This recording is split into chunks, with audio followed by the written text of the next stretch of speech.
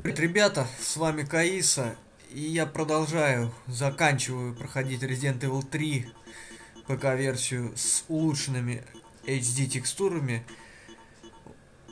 У меня опять в конце прошлой серии случился вылет, и нет, это не на том ящике, который я открываю ключ картой. Вылет случился при входе на последнюю локацию. Это просто бандификс мне опять обрезал несколько минут. Ну, там немного совсем он обрезал, так что из прогресса практически ничего не, не потеряно. Вот. Только вы, вы только не увидели, как я взял вот эту вот ракетницу. Эта ракетница была в том ящике. И 12 гранат я зарядил в этот чертов гранатомет. У меня не хватает уже зла. На эту ПК-версию я очень сильно грешу. Я в нее последний раз играю в жизни. Она какая-то нестабильная. Я не знаю. Может быть, есть какая-то более починенная ПК-версия. Хотя, ну да, наверняка, может и есть от Николая, там, я помню, какая-то версия была. В общем...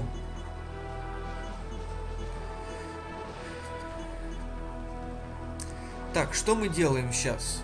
Что мы сейчас делаем? Да все очень просто. Валим мы отсюда уже. Там два документа надо будет прочитать заново мне. Но это не беда, в принципе. Ладно, сейчас прочитаем. Вроде как вылет не, вы, не вылетал уже у меня на том месте.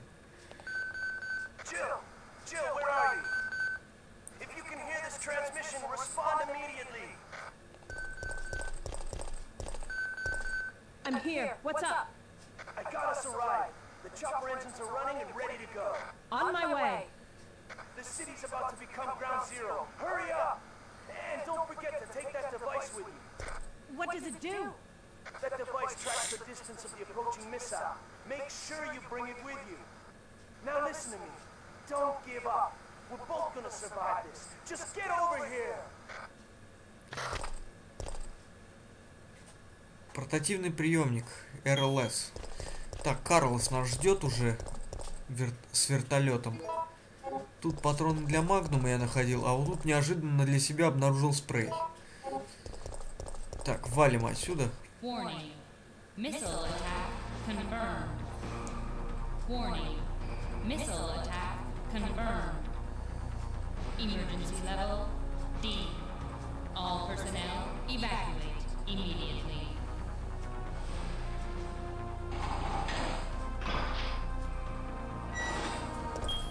Так, ну, спускаемся по лестнице.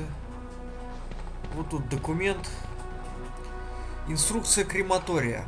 Мусоросжигательный цех – это предприятие по переработке отходов, которое образуется в каждом исследовательском комплексе. Цех сжигает мусор и старое научное оборудование, не подлежащее химической утилизации в цехе переработки, и является основным источником питания комплекса, благодаря встроенному термогенератору.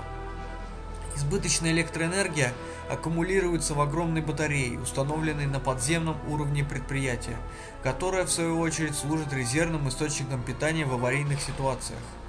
Резервная электросеть активируется после установки трех аварийных модулей в соответствующие разъемы.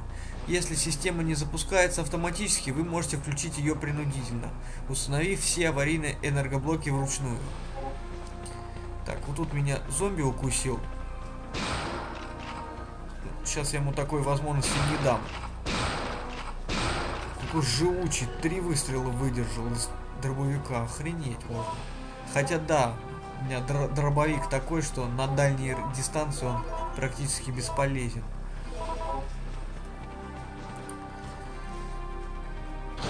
Так, и практически вот тут у меня зависло. Так, нет.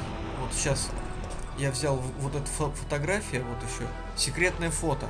Я по-прежнему считаю, что пока еще слишком рано использовать меч Парацельса в условиях реального боя. Хотя это неизбежно, если нам нужен козырь в операции по захвату G-вируса, созданного Амбреллой. Рельсовая пушка – мощное оружие, обладающее огромной разрушительной силой.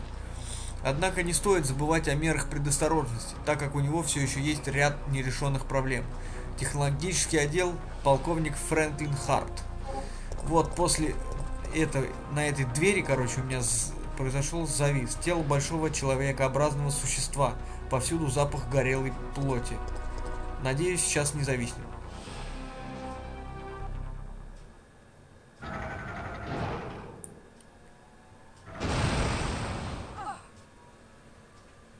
Вроде обошлось. Да, снаружи что-то взорвалось. Так, что нам тут нужно сделать вообще? Нужно просто подбежать вот сюда вот.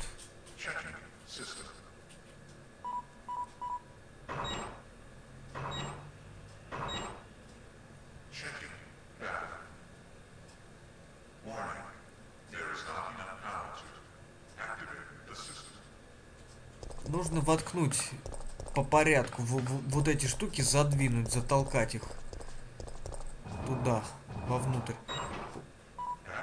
Помню, я тут очень сильно тупил, когда в первый раз проходил эту игру. Я просто не понимал, что делать. Оказывается, надо толкать эти штуки. Я дико тупил в этом месте. Почему-то не пришло мне в голову, что эти штуки надо толкать. Так, а вот и последняя форма Немезиса. Так.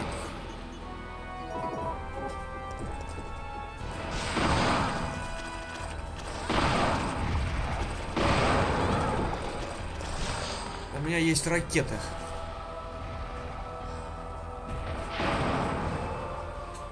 Все ракеты истратил на него.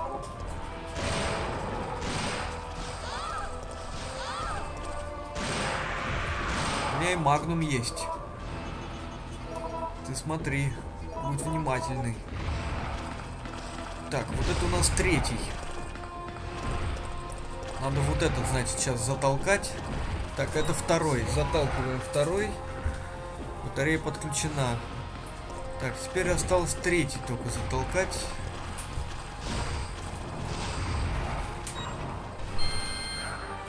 Батарея подключена. Подключена. Рельсовая пушка активирована.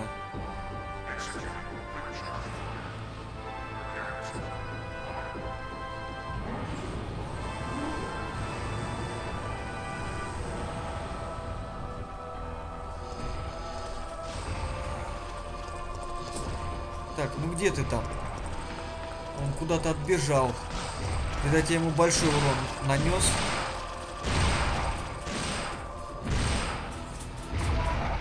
Я могу в тебя пострелять еще.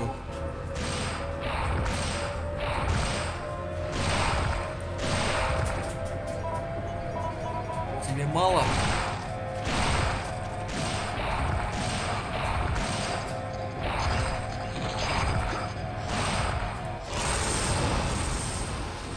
Так, ну ему еще маловато будет.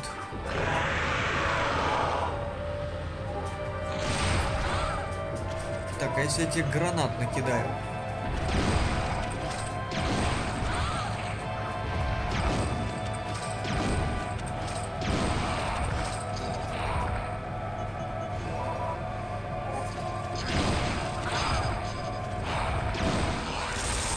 Получай, засранец. Вот так тебе.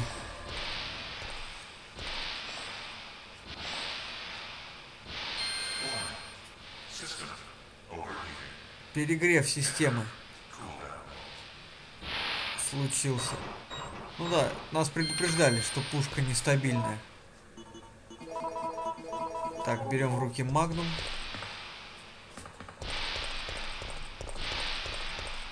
Ну что ж, пытаемся сбежать отсюда, но это не месяц еще живой. Оно продолжает преследовать Джилл. Что ж, добьем его, уничтожить монстра. Или игнорировать. Уничтожим. Вот как раз магнум.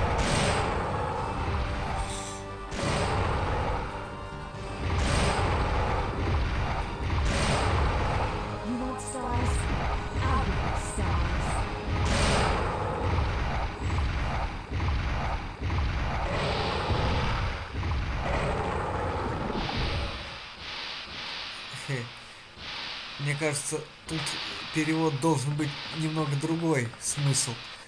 Ты хотел Старс, я покажу тебе звезды. Вот такой, мне кажется, должен.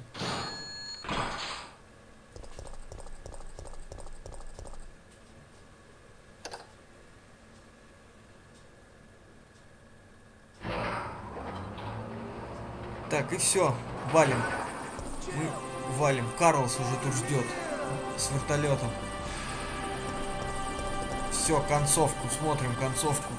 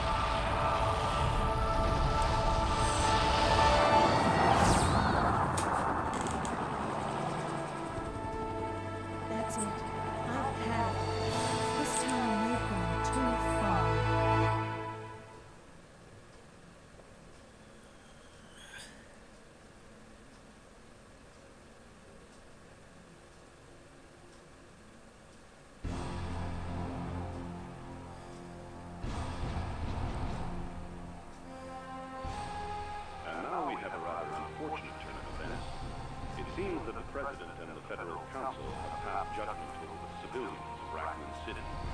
The President and Federal Council have ruled that the Battle Terminate operation is the best course of action for this extreme situation and have since executed.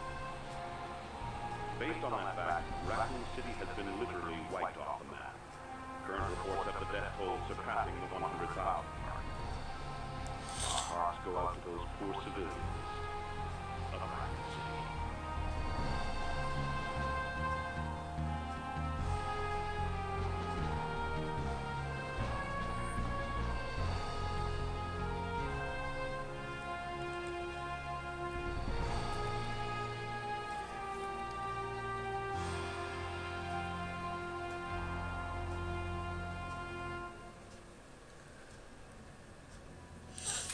Так, ну вот и фи- финальные титры, не знаю, можно ли их выключить. Нельзя, судя по всему. Ну ладно. Что я могу сказать насчет этой ПК-версии и сложности, кстати, э, измененный режим. Я, честно сказать, признаться, не увидел никакой разницы между... Это, наверное, имелось в виду, может быть, оригинальный режим это японский Biohazard, может он более обле- облегченный, имелось это в виду, потому что я не увидел каких-то меньше лекарств, там что больше урона врагам, не знаю, что-то мне не впечатлил. Я думал, там что-то, нечто большее. Ну, не об этом речь, все же давайте о, о моде конкретном HD ремастере. Ну да, он довольно-таки неплохой, но что для второй, что для третьей части, да, они в принципе не, неплохие ремастеры, но для GameCube, вот для Дольфина, для эмулятора Дольфина, вторая и третья часть, я помню, мне там больше нра- нравились текстуры, там вот как все было наложено. И, по крайней мере, никаких проблем с вылетами не, не было. Но это не важно, в принципе. Так что среди вот этого проекта HD ремастер больше всего, конечно, для первой части. Очень. Для первой части вот больше всего пошло на, на пользу, потому что первая часть не выходила на GameCube. Точнее, она выходила, но в другом виде. В, в- в виде новой игры уже совсем. С нуля переписанный. Вот. Но так, в принципе, ничего нового я как-то даже для себя не открыл. Прошел и прошел. Прошел трилогию. Буквально за несколько дней. Да, ранг у меня ужасный. Я знаю. Я на ранг, кстати, эту часть никогда на высший ранг не проходил. Да какой высший? Даже на Б ранг не проходил. Не знаю, для меня третья часть сложная, самая сложная часть из трилогии. Тут, кстати, эпилоги еще какие-то. Хотя они вроде уже должны быть все открыты. Уцелев после инцидента. Ну ладно, я не буду это читать, потому что... Так, ну все, все. Наконец мы прошли. Не знаю, оригинальный режим, мне кажется, он еще легче. Будем прощаться на этом. Я благодарю вас всех за внимание. Спасибо, что посмотрели. С вами был Каиса. Всем удачи. Увидимся в других прохождениях. Всем пока.